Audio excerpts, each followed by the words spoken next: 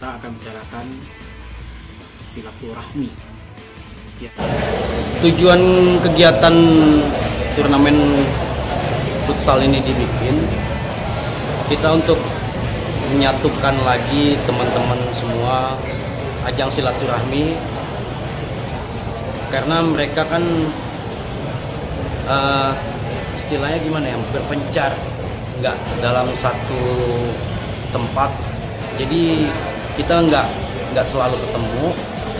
Jadi itulah makanya dibikin ajang tanpa sumber ini turnamen futsal untuk menyatukan mereka yang dari daerah sini daerah A daerah B sampai namanya pelosok Sumbar. Jadi kita gabungkanlah di sini. Tujuannya untuk silaturahmi dan saling mengenal satu dengan sama lainnya. Berapa tim yang ada? yang ikut semuanya ada 48 tim.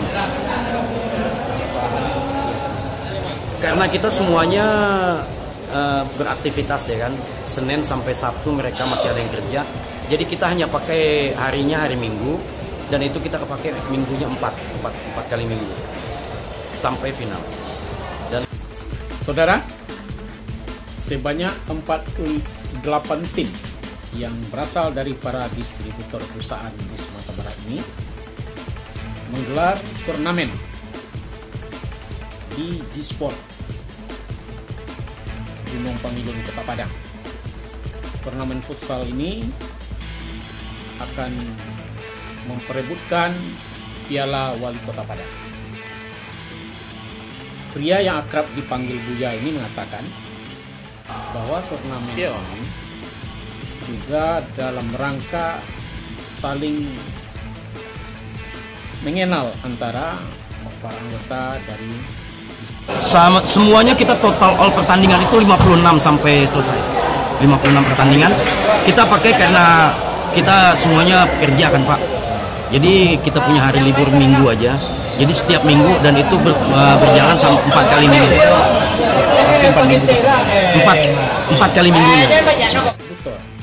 Karena memang mereka ini menyebar ke seluruh yang ada di Sumatera Barat.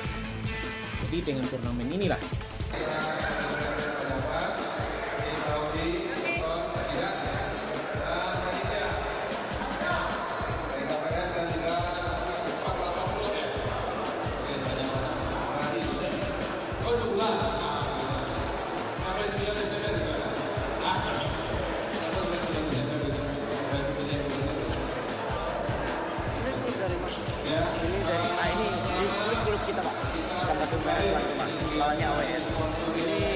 distributor